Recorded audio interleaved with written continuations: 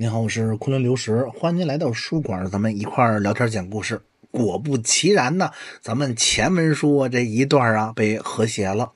呃，有的朋友说了，不是没和谐吗？对呀，您看的是什么？这个头条啊，这个 B 站呢，啊，还都有片子在。那这是为什么呢？您还能看见呢？啊，这是因为我把二十分钟的小片啊，呃，然后就剪到了十四分钟。那有好朋友就问了，你剪它干嘛呀？哎，那您这还用问吗？一审没过呗，就把那些敏感的呀剪掉了。我本来想啊，推荐您到这个百家去看完整版的，可是我今天发现，百家在播了两千多次以后也被和谐了。和谐就和谐吧。既然平台认为那些东西啊是敏感的，是不宜推广的，那咱们呀，啊剪掉了也不可惜。其实呢，这个讲这个藏传佛教的故事啊，呃，早就有这种想法，可是一直为什么没讲呢？就是怕这个。后来呢，在准噶尔韩国系列当中，咱们讲了十七的活佛转世，我这么一看呢，有的平台啊给播全了，有的平台啊播了七集，有的平台播了八集，还算行吧。啊，我觉着呀，咱们。避着点儿绕着点儿然后还是可以讲这个系列的。所以呢，呃，咱们就开了这个雪域佛国这个系列，咱们也讲快二十期了吧？其实我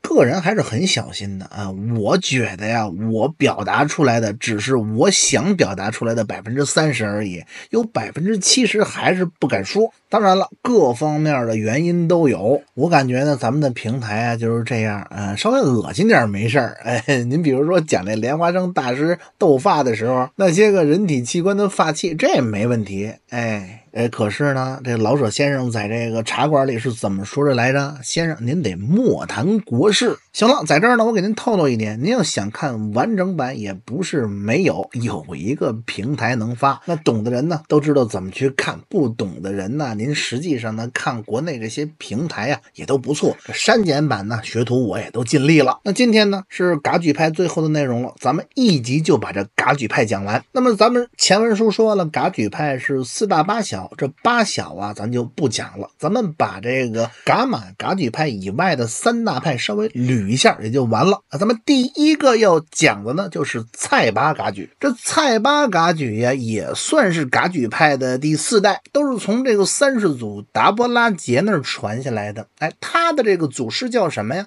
这蔡巴噶举的祖师啊，叫做向蔡巴。向蔡巴这人呢，如果按咱们中原汉地人来看呢，这个人还是颇有些争议的。藏族文献记载，这向菜巴呀，哎，他怎么回事呢？说这个人呢，爱械斗，善抢劫，性格特别的粗暴。在咱们中原汉人看来，哎，那这简直啊，就是一个抢劫犯。那您想想，打人的时候没有好手，骂人的时候没有好口，抢你东西，那善得了吗？做这种勾当啊，看样子这向菜巴手底下没少有人命。但是，哎，这但是是什么呢？哎，说这个人呢，毫无私心，他一心向佛。那么这也不难理解，哎，就是说呀，他把抢劫来的钱呢，一分给自己花的都没有，全部用来修庙了。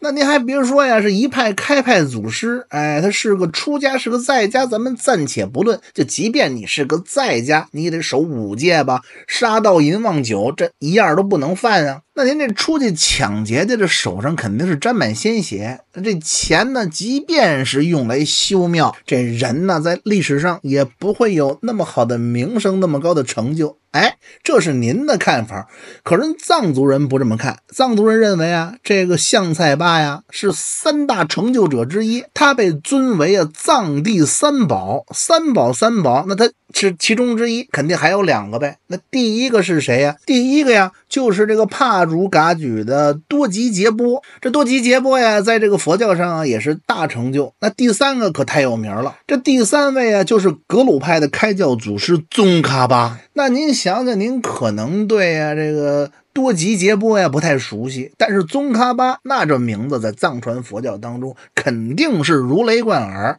您今天呢随便进一座庙，即便呢有很多是禅宗的庙，不是这个密宗的教，也供奉着宗喀巴大师。可想而知，这位大师啊，在这个藏传佛教界乃至中国佛教界有多么大的威望。哎，这爱抢劫的向菜巴呀，就和这宗喀巴大师齐名。哎，有人说不好理解，可。是呢，哎，咱们讲过，咱们先讲过这情僧六世达赖仓央嘉措。那会儿啊，就有人说呀，哎，这么讲啊，混了蛋了，怎么能把这情和僧加到一块儿呢？那您想想，一个人如果呀有老婆。嗯，有孩子，有情人，爱喝酒啊，还会写情诗，没事儿呢，还经常啊出入个风月场所，喝喝花酒什么的。那把这个情字啊放在这个人身上啊，我觉着还过得去。那有好朋友也得说了，那都不能用情字来形容这个人了，哎，那这完全可以用浪这个字儿。所以呢，很多好朋友就说这情字用不到一个僧的身上。哎，可是他巧了，这仓央嘉措呀，他是天生。生的和尚，天生的大师，天生的仁波切。人家这个僧字啊，哎，是活佛转世来的，可不是谁哄着、骗着、劝着，哎，才入的世门。所以说呢，情僧这两个字用在这个六世达赖喇嘛仓央嘉措身上啊，听着虽然可能有些违和，但是完全恰当。那昨天咱们还聊了噶玛噶举派十世下马巴红帽系的杨八井活佛贪财呀，引来了外来侵略者，哎，库尔喀的骑兵跑到后藏地区就抢劫了。扎什伦布寺，这爱娘们的和爱钱的这些个活佛，咱们都讲了，那也就不缺这么一位爱抢劫的开派宗师了。一一七五年，这蔡拔噶举就在这个蔡西卡建立了蔡拔寺。后来呢，在分封啊这十三万户的时候啊，也得了一万户，所以这蔡拔噶举啊才能成为这个四大噶举派之一。那下边咱们该说谁了呢？下边咱们说这拔荣噶举，拔荣。噶举呀，虽然是这个四大派当中的之一，但是是他只兴起强大了一代。哎，他的祖师呢叫达玛旺久，在元代的时候也被分封了一个万户。那咱们接下来要说的就是山南地区的帕竹噶举。这帕竹噶举呀，在一个时期可是非常庞大的一支。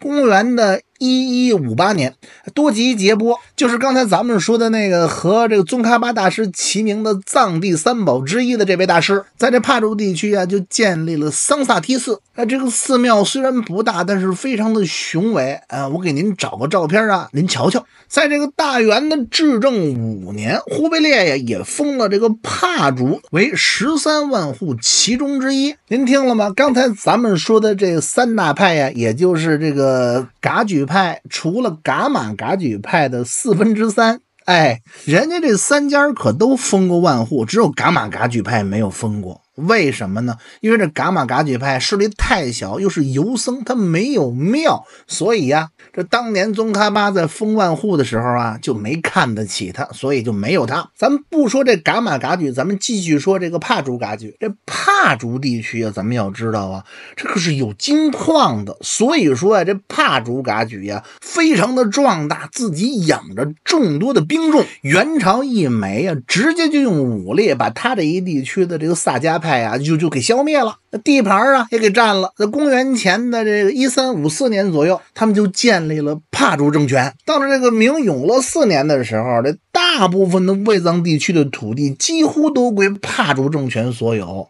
哎，这明永乐皇帝呢，虽然没封他个大法王，但是封这个帕竹一派呀为五小王之一，叫什么呢？叫产化王。哎，这么一来呢，这噶举派啊，咱们能聊能交代的，基本上也就聊得差不多了。哎，其他的什么八小派啊，咱们也没有一一的掰扯的必要。哎，最后啊，咱们还得聊这么一个支派，这乡巴噶举啊，和这个四大八小可不一样，不平等。乡巴噶举和他们的祖师平等，噶举派的四大八小。都是啊，这个达波嘎举的后裔，他们的祖师啊叫达波拉杰。哎，这香波嘎举跟达波拉杰呀都不应该算是平等，这达波拉杰是。噶举派的三祖，哎，这是有成就之后啊，所以这一宗一派呀，哎，才以人家的名字命名。那上边还有二祖呢，啊那这初祖是义师马尔巴，二祖呢是米拉日巴大师。这香巴噶举派的这个初祖大师琼布朗觉巴呀，那是和这个马尔巴同一时期的人。这二人呢，都是到了这个天竺去修习了佛法，引到了藏区。那么在十七世纪的时候啊，这。香巴噶举就走向没落了。现在而言呢，这香巴噶举绝对算是这个藏传佛教当中非常小的一支一派，因为啊，它只有一座寺院。哎，咱们前边说过，这座寺院呢，在羊卓雍措的附近，名字叫做桑顶寺。那提到这个香巴噶举啊，那咱们就得说两件事：一呢是这一个派别出现了一位大师。这位大师叫什么呢？叫汤东杰布。刚才咱们聊过了，这藏传佛教里有让咱们听了之后啊气鼻子、很不堪不屑的人。那这一部分大师呢，那必定是少数，少中又少，可以说是极少，还是有相当的大师啊，佛法高深、广修善事的。汤东杰布就是这么一位大师。西藏大江大河上的很多的铁索桥都是这位大师化缘主持修造的。那中国人认为，什么叫做善事？修桥补路就为善事。不但如此，这位大师还是这个藏戏的始祖。他所编创的藏戏呀，非常的早，名字叫什么呢？名字叫阿吉拉姆。这阿吉呀，有大姐、大姐头的意思。那拉姆是什么意思呢？拉姆啊，是仙女的意思。哎，这可以理解为啊，是仙女里的大姐大。那他为什么要写这么一出关于女性为题材的这么一出藏戏呢？哎，咱们就要接出第二个这个香巴噶举的故事了。那就是香巴噶举，至今为止，他的掌教活佛呀，是一位女性，就是著名的。多吉帕姆女活佛，现在啊，应该已经传到了第十二世。现在的桑顶寺第十二世多吉帕姆女活佛呀，名字叫做德庆曲真，是一位非常爱国的这个佛教人士。哎，您可以去翻翻咱们前方啊，有一篇就是讲这位女活佛的爱国故事的。在五九年的时候，被这个分裂主义分子裹挟到国外，后来呢，通过自身的努力以及国家的帮助，终于又回到了祖国。成为了一代爱国女活佛。得嘞，这个噶举派的故事啊，咱们就讲到这儿。明天呢，咱们继续往下讲。您早歇着，咱们明儿见。